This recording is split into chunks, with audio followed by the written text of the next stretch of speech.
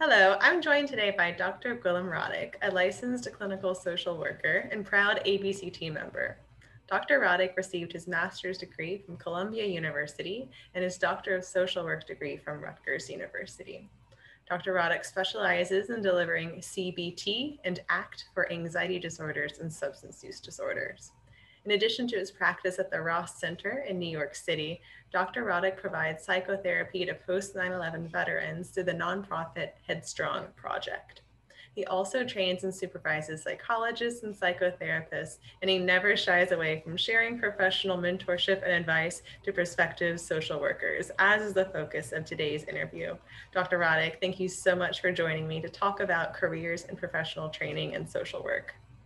Oh, thank you for having me. It's uh, something I enjoy doing. So, to get us started, could you share how and why you entered the field of social work generally and clinical social work specifically? Sure. So I uh, actually had a previous career. I worked in the arts. I worked in film production and as an actor, and that was my bachelor's uh, background education in. Um, and working in an industry for several years, I found myself very unhappy and not living up to kind of my potential and my values. So I thought about becoming a couple different things. I thought about becoming a teacher or a therapist, something in a, a helping profession where I could be of service.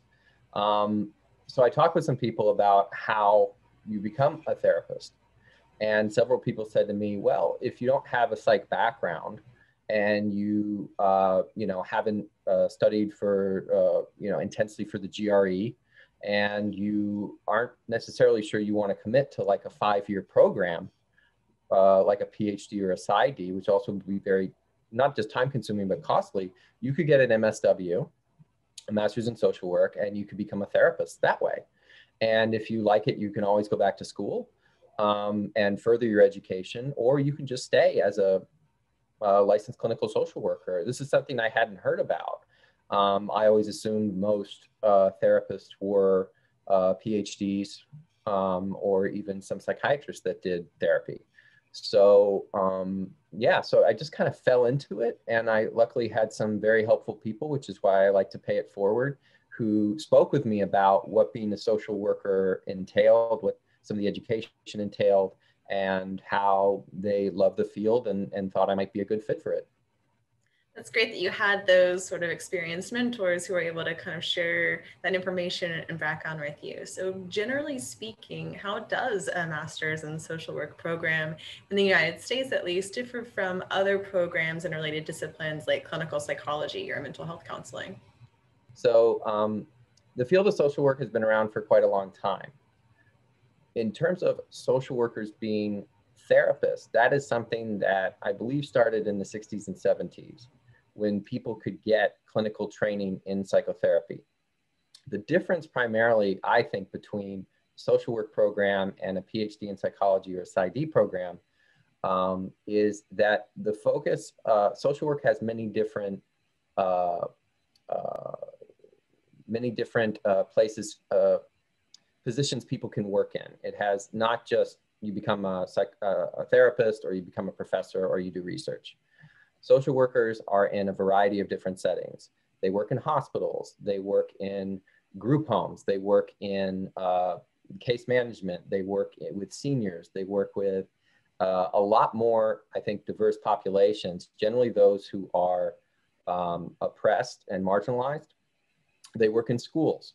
Uh, a lot of them work with kids. Um, and, uh, and in different capacities. So the main kind of uh, professional values of social work involve um, a person in an environment as opposed to a diagnosis, getting the whole person's experience versus focusing on pathology, and really trying to see all the factors that influence a person's experience versus a diagnosis. So I think that's a significant difference. Also, the kind of courses that you take in a social work program are human behavior in the social environment, You take a policy course because we learn how systems uh, influence people's behaviors, uh, political systems, government systems, uh, culture and context influences what people experience. So when someone comes into your office, you're trying to look at a much broader picture of what they're coming in with than simply, oh, your thinking falls along the lines of this is depression and this is how I'd like to help you with this. And I don't, I don't, that's one thing that I've learned is different from different programs, but I also think based on your placements, your supervisors, your training in PhD programs, in PsyD programs, you're going to get some of that as well. I just think there's a heavy focus on it, and many people who go to social work schools do not want to become therapists.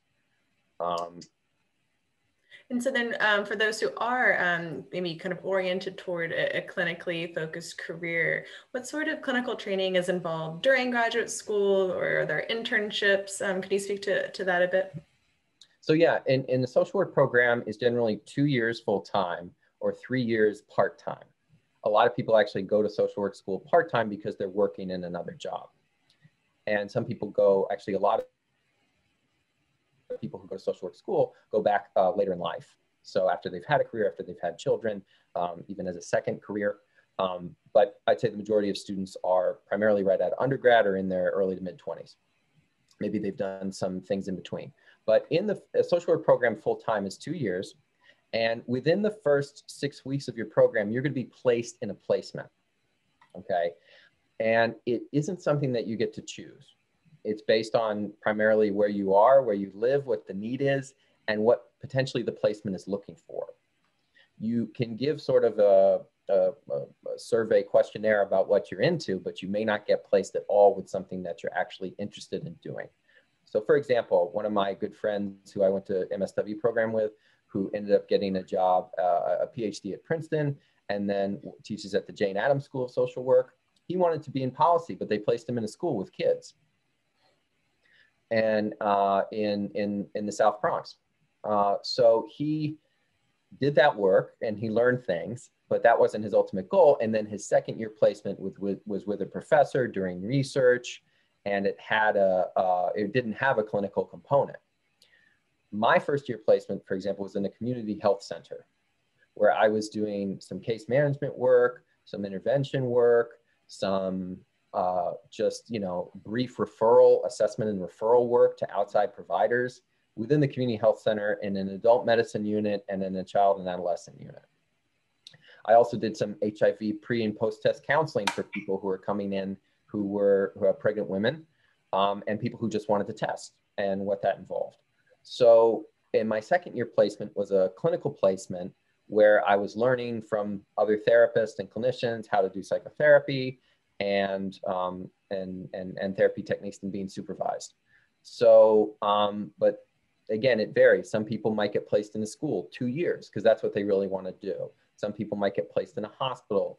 Uh, at Columbia, they had an intensive DBT program that you had to apply to, um, where you um, had to uh, literally they took like six students, and Andre Ivanoff was head of it at the time. She was the head of behavioral tech, and uh, they had specific design placements for six students to go and be heavily trained and supervised in DBT, and they would leave graduate school with a certification.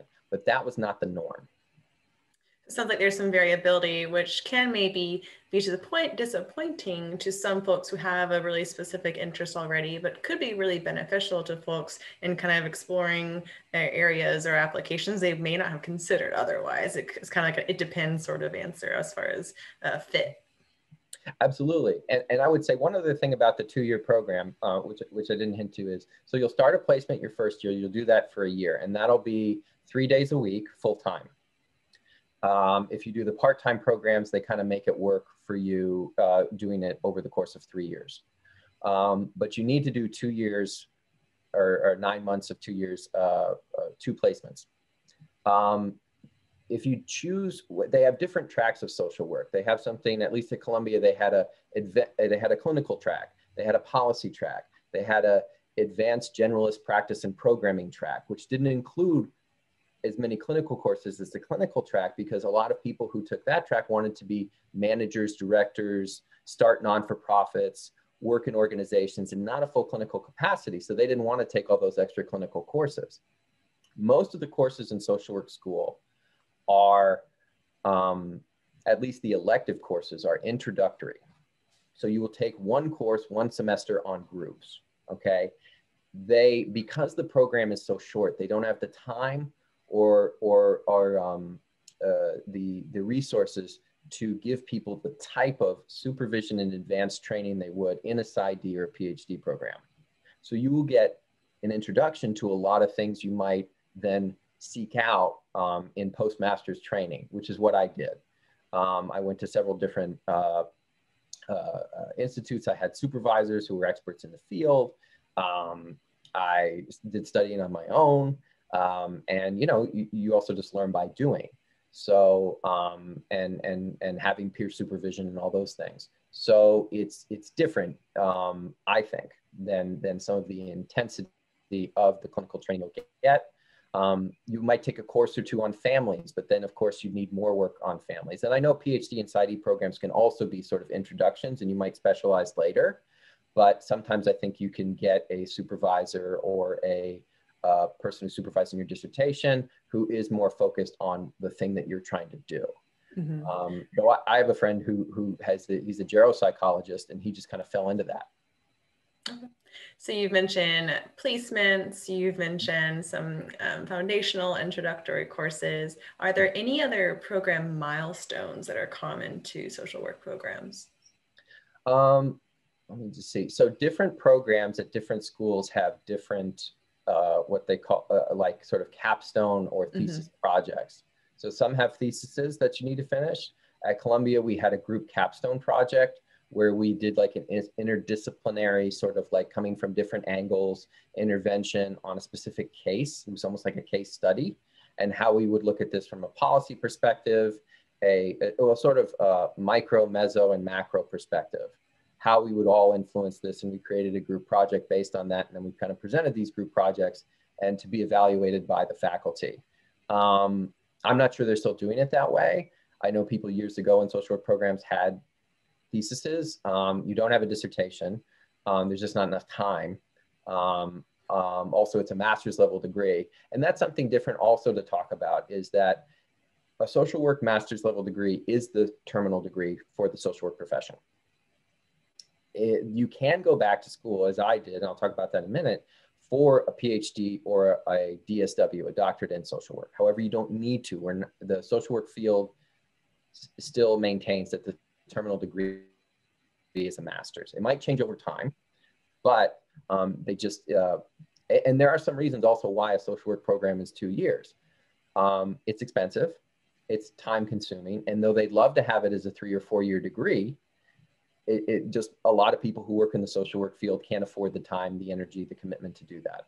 And again, they need a lot of social workers in this country to do a lot of different jobs and hold a lot of different functions. Mm-hmm. So, what does postgraduate um, supervised experience toward clinical licensure look like? Is there a, a period before you you get licensure? Yes. So when you finish your uh, graduate degree, you can take what's called your LMSW, your first um, postmaster's test. And you take that exam, and it's a similar exam to what you'll take for your clinical test. So most people take it um, pretty quickly, and if they want to get start working on their clinical license, some people never get it. Um, I think Brene Brown is an LMSW. She went back and got a PhD, and she does fantastic research, and she, you know, is amazing. But she didn't get a full clinical social work license, and her PhD, by the way, is in social work as well. Um, I should also say, social workers are the majority of therapists and counselors in the country. Um, and it's also, um, uh, it's, it's uh, I'm just trying to think. Yeah, because if you look at uh, demographically, not all places have providers. And in New York, for example, in New York City, historically, a lot of the therapists have been social workers, not always PhDs and PsyDs. And uh, to be honest with you, the pay level can be the same depending on your specialty. So I, I mean, I'm on the pay level the same as PhDs I work with, but that's just because of my specific training, my niche, and my background. Um, so uh, where was I going a second ago? That um, oh, postmasters training. So you take your first uh, LMSW test, and uh, it's multiple choice, and it has you know like a lot of licensing exams, you may come out of it thinking, what was that about? Do it? Did I pass? But a lot of it is about making sure that you do no harm to people, okay, and that you know foundational things. It's not necessarily theory focused yet. And even the clinical licensing exam isn't, you know, you don't need to know everything about CBT. You don't need to know everything about psychoanalytic and psychodynamic therapy. You need to know some things, but not, uh, you don't need to be perfect at them. I actually don't know what it's like to take a, a PsyD or a PhD clinical exam, licensing exam. So in New York, different states have different um, criteria for getting your clinical exam. In New York State, you have to do it within three to six years. You can't do it sooner than three, and you need to complete 2,000 client contact hours and 100 hours of supervision by a person that you're registered to be supervised under. You can't just do it on your own. They need to monitor you and, and make sure you're doing it and then sign off on your hours at the end. I believe PhD and PsyDs also have to do something like a thousand hours and and be you know supervised and is documented in some way. Um, it's hard sometimes in social work to find a job post graduate school that will give you that type of supervision and training that you're looking for. So what I tell a lot of people is if you're not getting it, there are providers, for example, in New York City who do CBT training and supervision while someone works at a college counseling center or at a group home where they may not be getting that, but they want to work towards their clinical license. Some providers are willing to do that. Sometimes you will get a licensed clinical social worker who will supervise you for your hours. Um, and again, some people don't do it right away. Some people never do it. Um, but um, yeah, if you want to become a therapist, you need to get your clinical license uh, to be able to, uh, you know, not uh, work with people under the supervision of an organization and, a, and another provider. But in social work, they do have some flexibility. It can be not only a social work that you're supervised under, it can be a psychologist or a psychiatrist. Okay. So, so yeah. Okay, so and you hinted earlier that not every social work graduate enters a clinically focused career. So mm-hmm. um, maybe you could just touch on if that's the clinical path towards licensure. Mm-hmm. What are just maybe some typical non-clinically focused social work careers? Okay, yeah, absolutely. So, uh, like I said, one of my classmates went on to do policy research uh, to see how systems influenced. Uh, uh he, he got his PhD in sociology.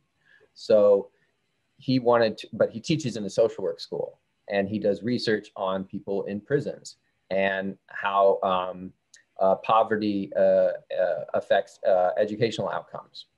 So he, he's looking at it from that perspective. Uh, another one of my peers uh, works, works in a school and just stayed working in the school. Um, I'm trying to think of some of the other people um, who I work with. Some people just become uh, faculty. They teach social work, but they've had a career in doing other things. Um, I had a peer who ran a group home for women who were um, recovering from substance use, but new mothers. Um, I'm trying to think of some of my other peers. You mentioned non-for-profits too, so maybe some sort of non-for-profits, running organizations um, hospitals. I think a former head of one of the major hospitals in New York City was a social worker. I don't even think he had his clinical license, but he was the head of a hospital. Um, running other types of non-for-profits. Um, so yeah, it it kind of varies. Um, I, wish I could list all of them, but if you Google sometimes some of the jobs that social workers do, uh, again, I, I, think some of the main ones are counseling intervention, schools, uh, geriatric, elderly work. Um, veterans is a huge one. LGBTQ populations, um, whether it be counseling policy or um, running non-for-profits. So. And so for those uh, who might be viewing this later and they're thinking, no, I think social work is, is the path for me. Uh. Are there any kind of general or major considerations you would recommend um, for those folks pursuing social work over some of these other disciplines? Well, what I tell people is, is, is you have to think about um, ultimately what your goal is. So if your goal is to become a therapist, right, you have different paths and sort of hurdles or milestones to get through to get that degree. And are you are you wanting to do it uh, in a you know in a committed five-year program? Are you willing to do it in a two-year program and then do the postmaster's training and supervision? So that's a consideration. Um, you have to consider also that the uh, starting salaries for social workers are much less than they are for PsyDs and PhDs. Um, but eventually they can be about the same, if not the same. Um,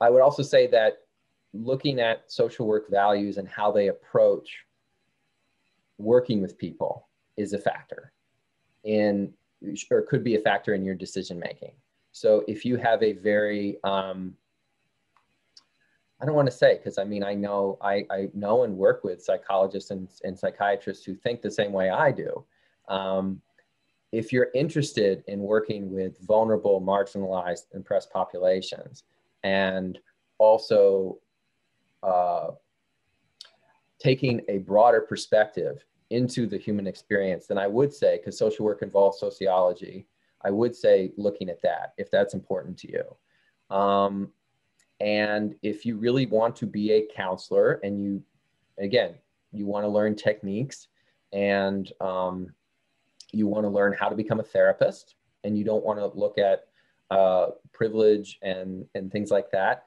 then you know you might want to look at like a licensed mental health counselor degree if you want a two-year program because I think that, yeah mm-hmm. Um, and, and, kind of thinking what you're saying it's you know there's no one activity or value or focus that any discipline has exclusively. It seems to be more about the relative emphasis within maybe these disciplines or programs. And so if some of these features you're talking about are of particular importance then you might be really well suited to a social work path as opposed to maybe some other sort of program training. Absolutely. Absolutely. Um, and yeah, and I think it just comes from, again, also where you're at in your stage of life, the cost, the commitment, your background. Again, I didn't have a, a psych background. So it was easier for me to get into a social work program than to take the time to study for the GRE, then apply, then make this, you know, big commitment potentially to move and do this and that. It was like I wanted to be back in New York. I used to live in LA. Uh, there were, you know, Columbia and NYU. I applied, I got into both, and then it was just a choice. Um, so yeah. Yeah, so some of those practical considerations too, then. And so, mm-hmm. um, in terms of those practicalities of, of, applying, say someone wants to begin that process of looking for mm-hmm. social work programs, like what advice would you give them about maybe just the general approach or specific, um, you know, suggestions? Okay, so I would say um, you know, there are fantastic also, um, like Rutgers, where I went for my for my doctorate in social work, is one of the best social work schools in the country. And I'm not saying that because I went there. I'm saying it because it's a state school. So, and Hunter College uh, School of Social Work is one of the oldest and best schools of social work in the country. Um, that's in New York City. Um, so there are so many social work programs uh, in, in so many different states. And it's not like you have to go to necessarily a you need to move to another city you need to do x y and z to uh, to get into a program. Most social work programs do not require the gre okay? It can help you if you take it and apply but it's not necessarily required um, at all schools. Um, again cost you know nyu columbia uh, schools i was looking at were private institutions. Um, you know, uh, the cost for state schools and, and city schools is much cheaper. Um, uh, the flexibility, whether you're working or not, is a factor. Um, I would say in terms of applying, they're looking for a couple things. They're looking for people um, who have some sort of volunteer or being of service experience. They're looking for people who have a personal interest in the field that they can talk about um, almost in a narrative way like why do you want to do this? Like what what what interests you in this field? Um, and they're looking for people who um, it, again you don't necessarily have to have a psychosociology background. I would say the majority of my classmates had bachelors in psychology sociology um, political science uh, uh, let me see some even, I think, had some uh, early childhood uh, education bachelors. There is a bachelor in social work uh, degree.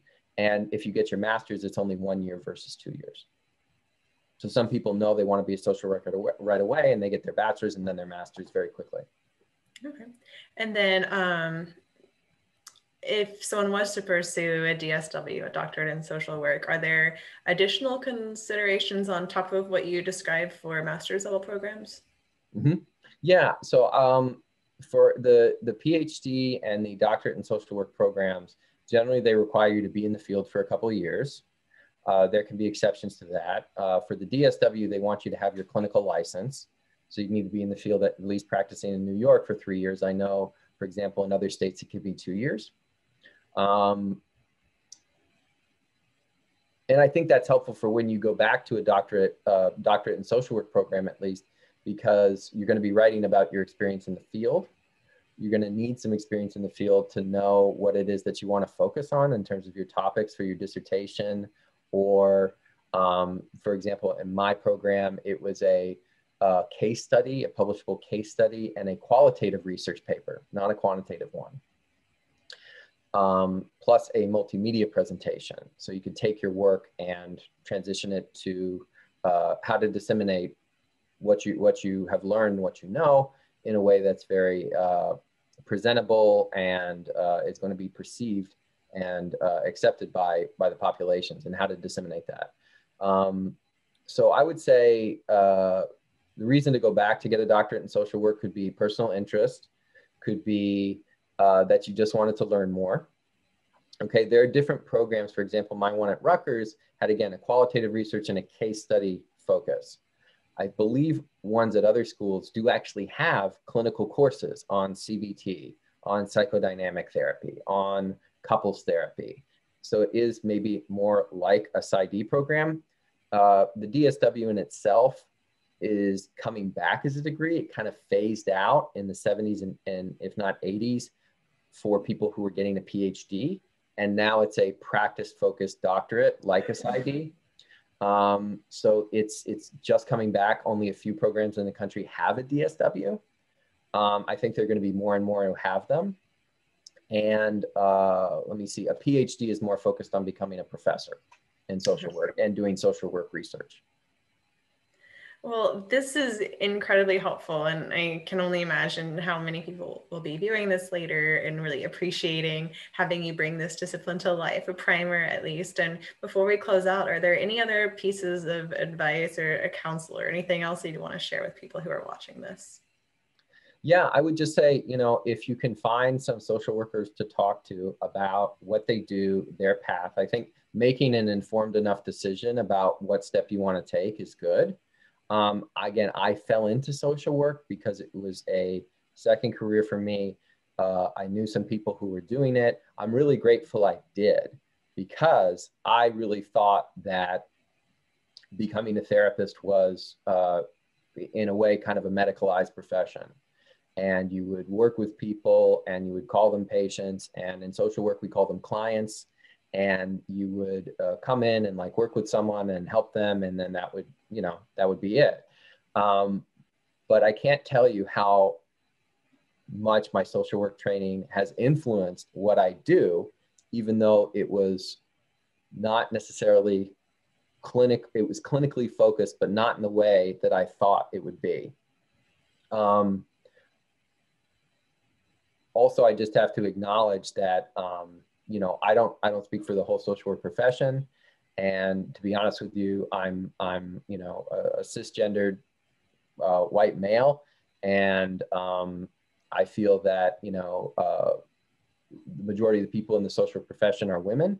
They probably can can can speak to different things that I can. Um, and you know, it's it's what I like about the social work field is you're constantly learning. It never it never stops and um, it just it really did align with my values as a person and, and being of service.